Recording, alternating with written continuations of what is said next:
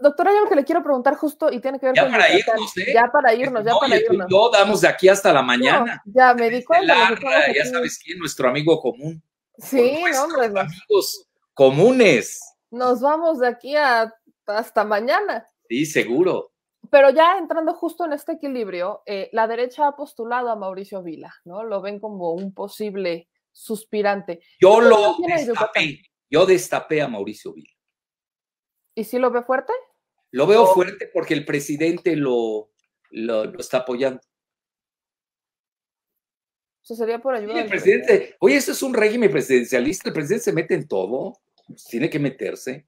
Tienes que tener gobernabilidad. Mauricio es un extraordinario gobernador en Yucatán, muy bueno. No es de ahí, él es del Estado de México. Pero Anaya tampoco es de Querétaro, es un fake. Anaya es fake en todo. pero Anaya es no de tiene... Naucalpan. Anaya no, me hagas abrir su expediente. ¿Él es de Naucalpan, no que era de Querétaro? No, de Naucalpan. ¿Y qué fue hacer Y no me hagas hablar de su relación con Garrido. No me hagas abrir ese expediente. Ah, poco hay relación ahí con Garrido. ¿Cómo? ¿Hay relación con Garrido? Bueno, no fue su secretario muy particular.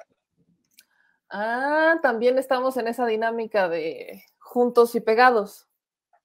Acuérdate, yo conozco la cúpula y la cópula del poder, te lo voy a repetir diez veces. No, pues sí. Sé de más, sé de más.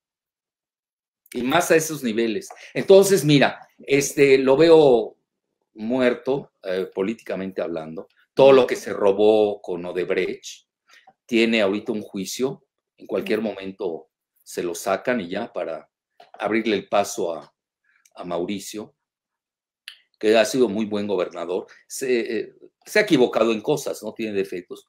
Luego, este, van a decir es que Jalife está ligado a los Abraham de Mérida. Bueno, sí son mis paisanos, sin duda. Yo no reniego a mis paisanos.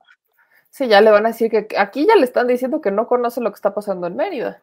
Sí, ya lo sé. Sí sé, sí sé lo que está pasando.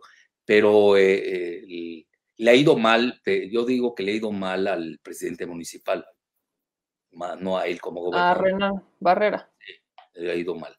Todo lo que pasó con este joven, estamos pendientes, tampoco estamos ciegos. Pero a lo que voy, ya hablando de presidenciables en el PAN, no tiene cartera de presidenciables. Esa es la realidad. Tiene dos excelentes prospectos. Uno es el gobernador de Querétaro, el que acaba de entrar, mi paisano, que tampoco es de ahí, él es de Córdoba, y, eh, pero es muy bueno porque tiene visión de tecnología. ¿Vila? Digo, este, Curi. Curi. Eh, tiene una gran visión para la tecnología y eso hay que fomentarlo. Mira, eh, no hay que caer en maniqueísmos. Yo soy 4T, ya dije que soy 5T, soy cofundador de Morena, pero no me equivoco, soy una gente plural, civilizada, que hay que dialogar con la oposición, con los que se dejan dialogar en forma civilizada. Obviamente Morena no tiene la verdad absoluta, como lo creen los jacobinos trasnochados. ¿no? Entonces, eh, que además ya son caducos, ya están en el siglo XXI, ni entienden qué es el TMEC, ni saben qué es el Comando Norte siguen ahí en, la, en el siglo XVIII, o no, ya 500 años atrás. no leen ni la constitución. No. Ni se la saben. Así es. Entonces, en resumen, eh, Vila es un, yo creo que es un candidato, eh, no va a ganar, no le va a ganar a Morena, al corte de caja de hoy, pero va a ser un muy buen candidato civilizado del PAN. No veo a Naya, Corral se desfondó, ya ves, ya le vino a besar la mano a Andrés sí, Manuel. cambió el discurso radicalmente y ahora hasta lo defiende bueno, cuando él armó una de líos con lo del agua con Estados Unidos, pues, mal asesorado por, por Gutman, pésimamente. Acuérdate que él es del grupo Soros, Corral, ahora no sé si ya lo abandonó, ignoro. Mira, yo realmente tenía una excelente opinión de Javier Corral cuando fue senador. Yo creo que fue un extraordinario senador. Pero eh, como gobernador enloqueció. Fue pésimo gobernador y perdió la ruta, se desbrujuló porque creyó que él era, iba a ser el presidente de la República. No creó esta federación contra el presidente. ¿No te acuerdas? La, Alianza Federalista. Ven que acabó esa federación. Perdió el Bronco. Tamaulipas ya se cayó.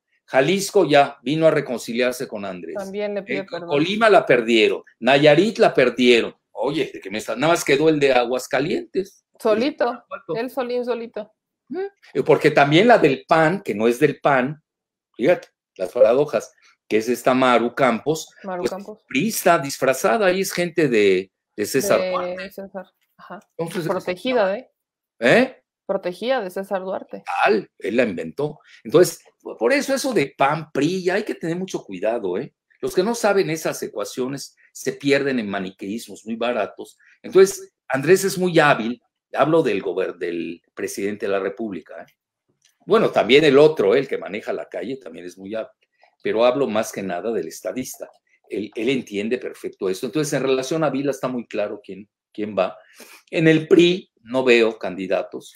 Enloqueció este, el que está metido, no sé si él o el hermano o la cuñada, en el X, NXIBM, que ya ves que le costó a Clara Luz la candidatura en Nuevo León, que es este, ¿cómo se llama? El de la Madrid, el hijo. Enrique de la Madrid él anda diciendo lanzó, que ¿no? Bueno, este no llega ni a, ni a alcalde de, de un pueblo. no llega ni a presidente de la colonia. Luego Cuadri también se subió en el No, tren. bueno, ese es de risa. Pues, ¿con- ¿Por qué partido? Para empezar, dime por qué partido. Los No. independientes en México no tienen, si no, yo sería presidente, te lo digo abiertamente. Si funcionaran los independientes, yo sería presidente. Así de ese tamaño te lo garantizo. Pero a los lo que voy, no funciona porque el esquema de México está diseñado para una partidocracia, con líderes que llenen al partido. Pues tú tienes, puedes tener un buen partido y tienes mal candidato, pierdes. Ve qué le pasó al PAN. Un partido relativamente fuerte, nunca fue tan poderoso. Lo inflaron mucho los Estados Unidos. Sobre todo lo infló mucho Clinton con Fox. Y luego lo inflan también con eh, Calderón para entregar el petróleo. Pero realmente el PAN siempre ha sido un partido de 12%. Hoy tienen dificultad para conseguir militantes. Bueno, no es broma, pueden hasta perder el registro.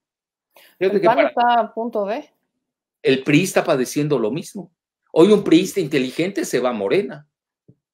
Y el Morena le abre la puerta. Sí, le abre. Además, Andrés se lleva muy bien con los priistas, velos. Ve cómo se lleva con el de Oaxaca, cómo se lleva con el de Domex, cómo se lleva con el de Hidalgo, cómo se lleva con el de Coahuila. Se van re bien. Sí, todos son Se llevaba bien con Alito, que hasta le decían Amlito, y luego lo traiciona y le dieron su lección.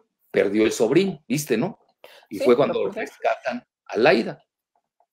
Así es, Entonces sí, aquí no, no, no. sabemos las jugadas, repito, de la cúpula y la cópula. cúpula.